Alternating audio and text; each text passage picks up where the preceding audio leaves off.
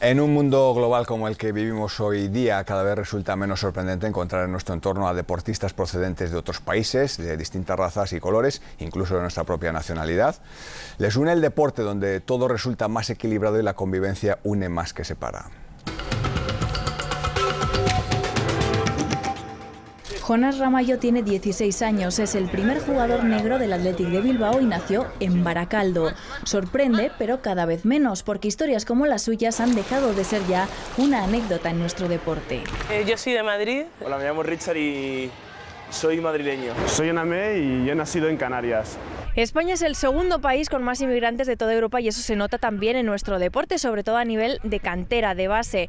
Un ejemplo, el año pasado de los 26.000 chavales que participaron en los campeonatos escolares de la Comunidad de Madrid, unos 7.000, es decir, un 24% eran jóvenes de origen extranjero, en total de 80 nacionalidades. Muchos han nacido ya aquí, otros llegan de fuera desde muy jóvenes. Me lleva un grupo de cuatro de Camerún descalzos.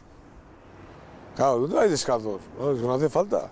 Si aquí todo es plano y no hay cristales, no hay piedras, yo claro, no, os tenéis que poner zapatos, ¿no? La mayoría se adapta en un tiempo récord. Son chicos muy, muy naturales, que juegan por diversión, que no tienen igual todavía esa cultura materialista. Lo que aportan es talento, es capacidad, enriquecen y, y socialmente pues aporta desde cada uno desde su cultura, su manera de ver el deporte, pues también nos aportan.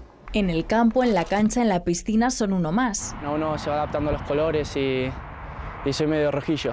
Fuera todavía quedan algunas asignaturas pendientes. En el aeropuerto, que iba a pasar el control de seguridad, el policía empezó a decirme DNI, DNI, y luego ticket de avión. Y le miro y le digo, ¿usted lo que quiere es la tarjeta de embarque? Sobre todo cuando cojo un taxi y me preguntan, ¿a dónde vas? Y les digo un perfecto castellano, pues voy a tal sitio. Y dice, no, hombre, joder, ¿de, de dónde es usted? Y digo, de aquí en Madrid. Y dice, ah, pero joder, claro, porque les, les voy a hablar español y, y me sorprende. Jóvenes negros, no pasa nada. No hay que decir de color o cualquier otra historia. Todos tenemos colores.